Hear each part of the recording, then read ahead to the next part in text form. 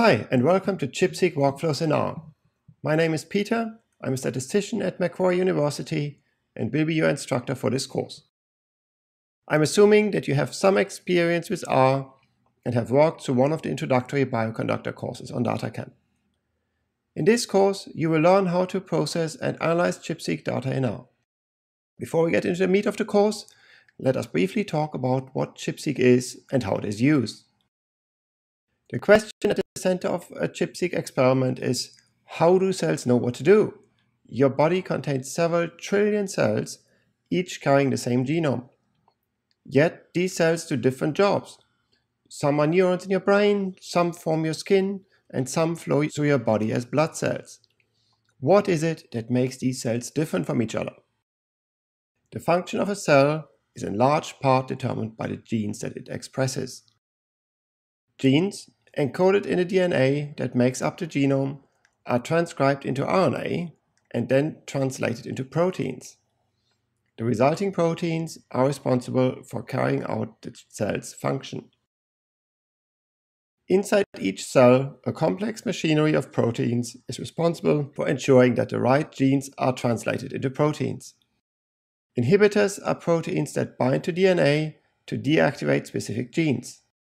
Such inhibitors have to be removed through the interaction with other proteins before genes can be expressed. A complex of activating transcription factors can then bind to the DNA, allowing gene expression to proceed. Through this process, the regulatory machinery ensures that a cell correctly performs its role. If these regulators are disrupted, cells can get out of control, causing a variety of diseases, including cancer. ChIP short for chromatin immunoprecipitation, is a technique that can be used to extract specific proteins, together with any part of the genome they were bound to from a cell. We can then use the DNA sequences attached to the proteins to infer the sites across the genome that they interact with by identifying regions of the genome that are overrepresented in the sequencing data. By comparing these binding sites between different individuals, for example, healthy volunteers and cancer patients, we can uncover the mechanisms that are responsible for the differences between them. Throughout this course, you will explore one particular ChIP-seq dataset.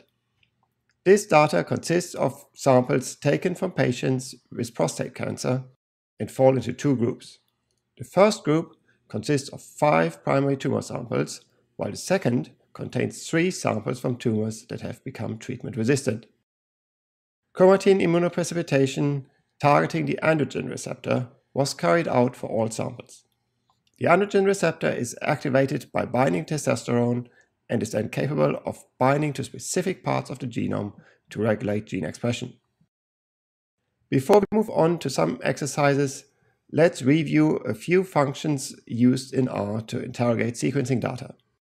Mapped sequence reads are typically stored in BAM files. You'll learn more about this type of file in Chapter 2. Using the readGAlignments function, you can load data from BAM files. Once loaded, information about the chromosome reads have been mapped to is available via a call to the seqnames function and their location on that chromosome can be accessed through the functions start and end respectively. We often want to know the location of mapped reads but also how many reads cover any given position in the genome. This information can be computed with the coverage function. The main units of interest in the analysis of a ChIP-seq experiment are peak calls that highlight regions of the genome with a high concentration of reads. These peak calls are typically stored in bed files. We look at what these files look like in more detail later. Each peak is associated with a score which quantifies the strength of this particular peak. pCalls can be loaded with the import.bed function. Coordinates of peaks can then be obtained by calling the chrom and ranges functions. The score function provides access to the peak scores. Time to put this into practice.